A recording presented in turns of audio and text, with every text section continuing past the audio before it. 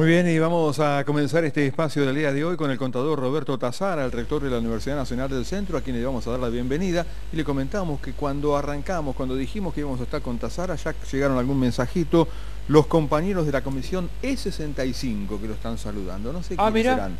Contador Tazara, rector, ¿cómo le va? Buen día. Claudio y Rodolfo lo saludan. ¿Cómo está usted? ¿Qué tal? ¿Cómo les va? Claudio, Rodolfo, oyentes, televidentes. Muy bien. Gracias a los compañeros, E65 son egresados 65, no saquen las cuentas por favor, egresados 65 de quinto año de la Escuela Nacional de Comercio y de todas las escuelas de Tandil que nos juntamos cada cinco años y tenemos una comisión organizadora. Así que gracias a los que este, estén tan atentos.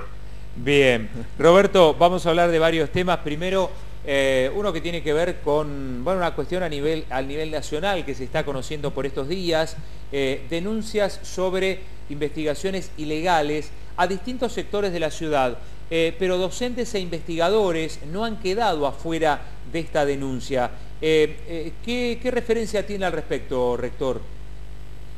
Bueno, sí, efectivamente, este, Consejo Interuniversitario Nacional, el Comité Ejecutivo, eh, sacó una declaración a la cual nuestra universidad adhiere, repudiando estos hechos este, y bueno, esperando que si son totalmente comprobados este, sean sancionados como corresponde. El sistema universitario ha sufrido muchas veces estas cosas. No, no tenemos conocimiento hasta ahora, lo averigué expresamente, de que no se conocen todos los nombres que están involucrados, pero no tenemos conocimiento que haya este, docentes, investigadores, eh, personal de nuestra universidad, pero el conjunto del sistema se ha expresado este, muy duramente repudiando estos hechos que de la verdad este, nos llenan de malestar, de dolor porque ocurran en periodos democráticos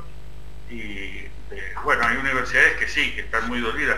La universidad, digamos, de las que tenemos más trato porque integramos una red interna además de trabajo con la Universidad Nacional del Sur de Bahía Blanca, comunicado muchísimo, muchísimo más duro, este, pero bueno, nuestra universidad adhiere absolutamente más allá de si hay o no involucrados este, personal y trabajadores nuestros en, estas escuchas, eh, videos, etcétera, que, están saliendo, están saliendo a la luz.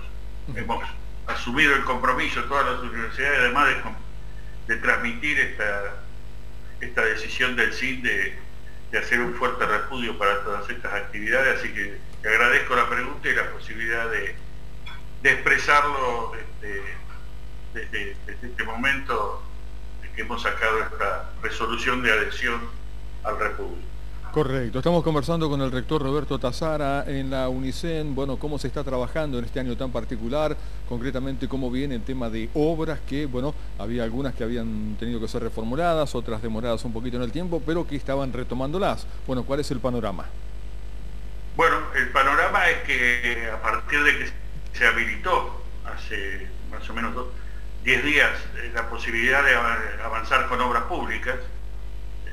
Hasta ese momento no, teníamos la posibilidad porque las este, regulaciones este, nos impedían hacerlo. Bueno, se volvió a, arrancar la relación con, las empresas de aquellas que ya estaban incluso adjudicadas. Faltaban detalles administrativos, a veces no menores, pero que faltaban como que la firma de los contratos. Eso este, eh, ha avanzado y estamos trabajando ya fuertemente para que empiecen muy, muy, muy a la brevedad las obras de la fábrica. Obras menores son en general.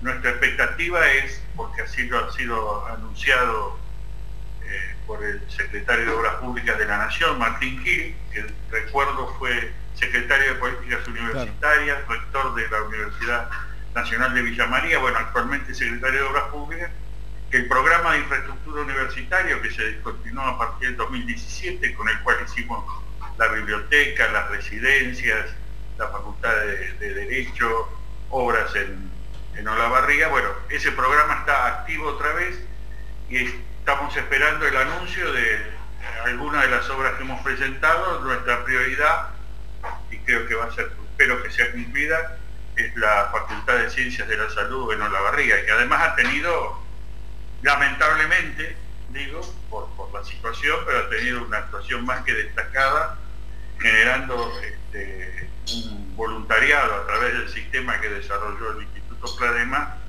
en las cuatro ciudades donde tenemos sede. Tenemos acuerdos con los cuatro municipios y ha sido absolutamente eficiente. Ni les digo en Necochea, este, cuando, cuando saltó lamentablemente la, situación de crisis este, que entró en Necochea, bueno, y seguramente ahora también en, en Olavarría. Así que las obras están empezando de nuevo, me parece que es una de las partes de la actividad económica que se pretende reactivar, así que eh, más allá de lo de la fábrica y obras más, más chicas que estamos este, volviendo a mover, estamos con la gran expectativa de que este, salga la obra de ciencias de la salud, debo decir, está este, presupuestada en 170 millones de pesos, es una cifra más que importante, y después están también los tres comedores universitarios que necesitan ampliarse, bueno, las obras adicionales que teníamos pedidas en ese en ese ministerio. Así que estamos, estamos en movimiento este, y esperamos muy, muy rápidamente este, poder contar con, el, con esta información de la Secretaría de Obras Públicas de la Nación. Estamos hablando con Roberto Tazara, rector de la Universidad Nacional del Centro. De alguna manera se adelantó a la pregunta le íbamos a consultar cómo, cómo viene siguiendo el caso de, Olavarría puntualmente, más allá de Necochea, que también hay unos cuantos casos, pero Olavarría ha superado los 50 con la Escuela de Salud y en particular con, con bueno, con las facultades allí en, en, Olavarría. ¿Cómo va siguiendo usted desde lo personal la situación y cuál es la injerencia en el trabajo justamente de, la pandemia en, en la ciudad del cemento?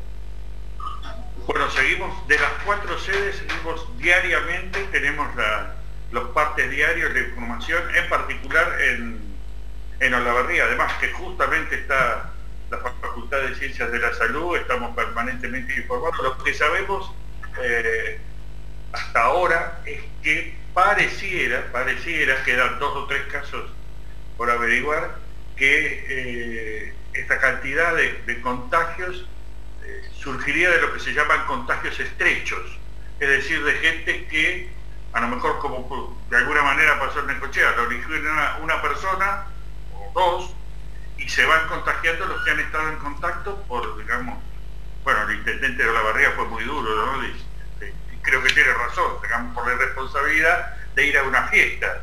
Y entonces este, ya no solo que a su círculo más íntimo, sino a un conjunto de personas lo ha ido contagiando. La, última información que tenemos de ayer a la tarde del decano de la Facultad de Ciencias de la Salud es que salvo uno o dos que todavía están en verificación, serían contactos estrechos. ¿Esto qué significa? Que no se estaría difundiendo el virus, digamos, que no habría una circulación general del virus en la ciudad de Olavarría. Esperemos, ojalá, que esto se, se confirme porque permitiría, más allá de los lamentables casos que ya están infectados, este, tener mucho más controlada la, situación si el virus no está circulando. La mejor situación hasta ahora, y esperemos que dure, es la de Tandil. Escochea, bueno, tiene las complicaciones, ustedes saben. Esto también nos va a complicar lo que estamos preparando si esto continúa así, eh, desde el lento, pausado y muy organizado retorno a determinadas actividades universitarias, lo vamos a tener que hacer por sede, este, si esto sigue así. Correcto, y hay que tener en cuenta también seguramente para ese momento lo que tiene que ver con esta etapa regional. Hay muchos chicos de Olavarría, gente de Necochea también que está estudiando aquí en Tandil, ¿no? Sí, yo diría que el, tema de las clases va a ser seguramente el último, justamente por esto, eh, porque todas, todas las sedes tienen estudiantes que no son del lugar donde desarrolla su actividad eh, de estudios. En Tandil hay 6.352 estudiantes que no son de Tandil. De manera que si uno dijera, bueno, tenemos la posibilidad de dar clases presenciales, eh, traeríamos a Tandil un conjunto muy importante de, estudiantes que sería imposible de controlar cuál es su situación sanitaria en el momento que ingresen a Tandil, algunos podrían ingresar, otros no, la verdad que eh, todavía eso seguramente lo más negativo. Estamos pensando porque ya hay, digamos, algunas excepciones como la gente de, la Facultad de Ciencias Veterinarias, digamos, de, los grupos que están trabajando por, en ayuda de la lucha contra el coronavirus, como son la gente de virología que hace los testeos, eh, analiza los testeos acá en Tandil, también en Saladillo, que tuvo un brote, Correcto. que se acercó para que le pudieran hacer los, testeos, y la gente del Cibetán, del este, doctor Lanuse, que está investigando una posible, este, un posible remedio, una posible cura para, el coronavirus junto con otras universidades y otros, otros efectores este, como el Garrahan, como el CEMIC, etcétera, etcétera. Esa gente ya está y, digamos, tenemos más pedidos, sobre todo del área de investigación y algunos administrativos. Estamos cerrando un protocolo, digamos, que tiene que ser muy cuidadoso. La verdad, es una institución pública no podemos darnos ningún lujo de este, sobreestimar nuestra capacidad de, ingreso de la gente. Tenemos que pedirle todos los requisitos de tomar la fiebre. Estamos comprando, ya se, cerró la compra de los termómetros para poder tomar la fiebre en la frente y otra serie de elementos este, que son necesarios para poder de a poco ir habilitando algunas actividades. Y bueno, también eh, el 19 de nosotros tenemos eh, suspendido la toma de exámenes finales que son presenciales hasta ahora, eh, hasta el 19. Bueno, cuando vence esa fecha no vamos a sacar ninguna resolución que impida la toma de exámenes virtuales. Cada unidad académica seguramente hasta a veces cada, cada materia, cada cátedra, verá si existe la posibilidad de tomar exámenes virtuales. Hay materias o hay este, carreras donde va a ser más sencillo. Debo decir, la, más complicada es medicina, las más complicadas, medicina y enfermería, porque no tienen, no tienen la posibilidad de llevar los alumnos a los centros de salud, salvo los voluntarios que están trabajando en, en otra cosa, pero directamente no están pudiendo cursar, porque el, modo de cursada es en los centros de salud de cada uno de, este, de los efectores que tiene la ciudad de La Barriga. Correcto, así que hasta el día 19 estarían suspendidos y a partir del día 19 pueden llegar a, bueno, instrumentarse estos exámenes finales. Virtuales.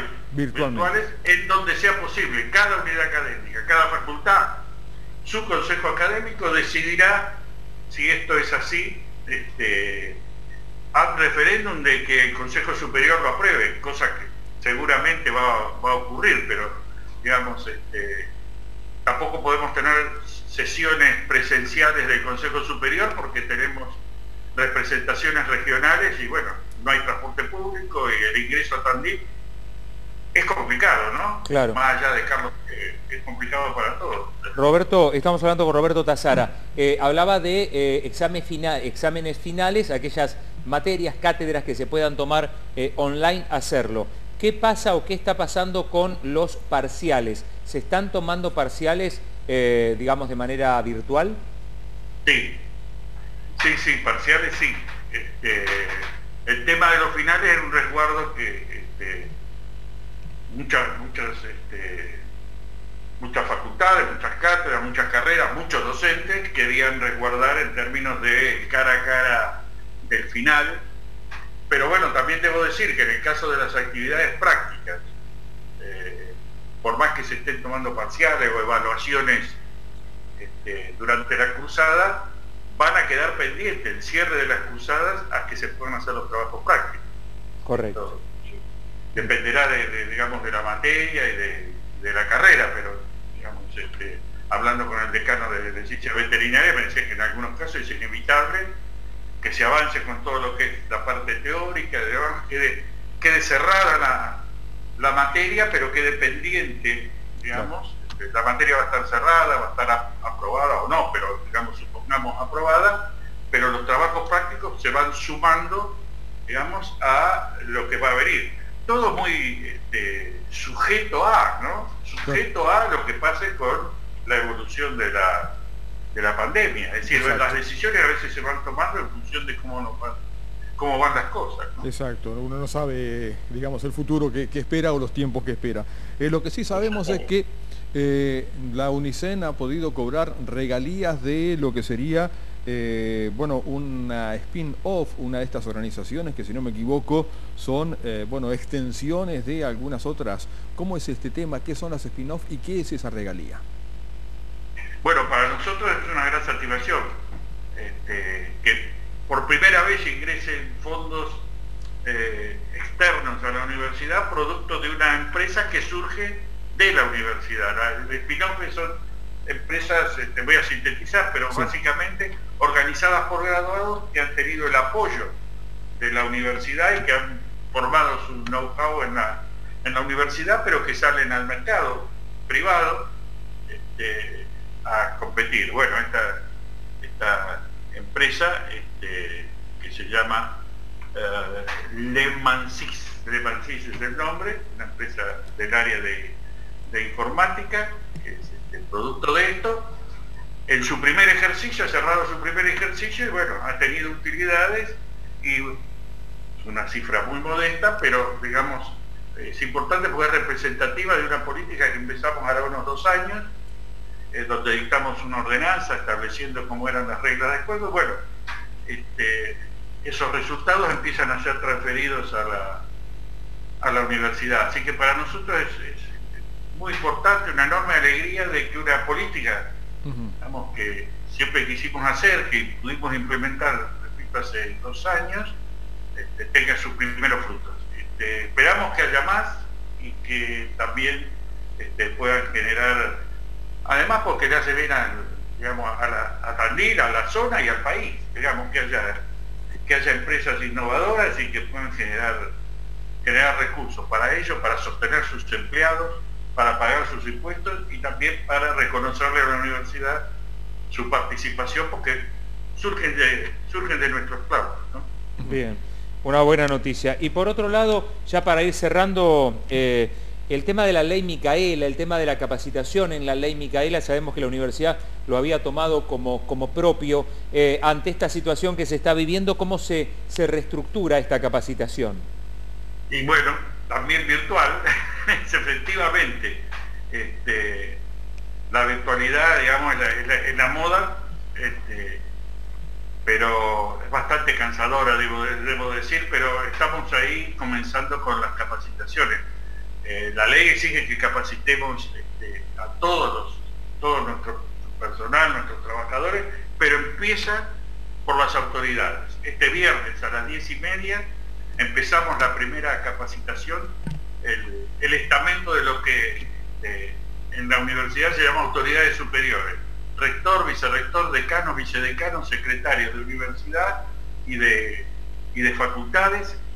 Eh, vamos a hacer eh, la primera capacitación virtual sobre la, sobre la ley Micaela. Este, la universidad es muy sensible a todo esto, de hecho, bueno, Empezamos primero con un protocolo contra la violencia, contra la violencia en general, pero particularmente de género, y después con un programa este, para atender estas situaciones. Así que a través del programa es que vamos a hacer estas capacitaciones. Y también quiero, quiero resaltar, porque es algo que empezó esta semana, eh, el lunes y el, día de, ayer, eh, comenzó a funcionar también virtual, eh, algo que había anunciado el gobernador Kisilov, una idea que además había empezado a germinar en su mente cuando estuvo en una rápida visita en el campus, este, cuando era candidato, que es el Consejo de Universidades Bonaerenses. Y bueno, ya ha habido dos reuniones virtuales, una relativa a la ciencia y la técnica.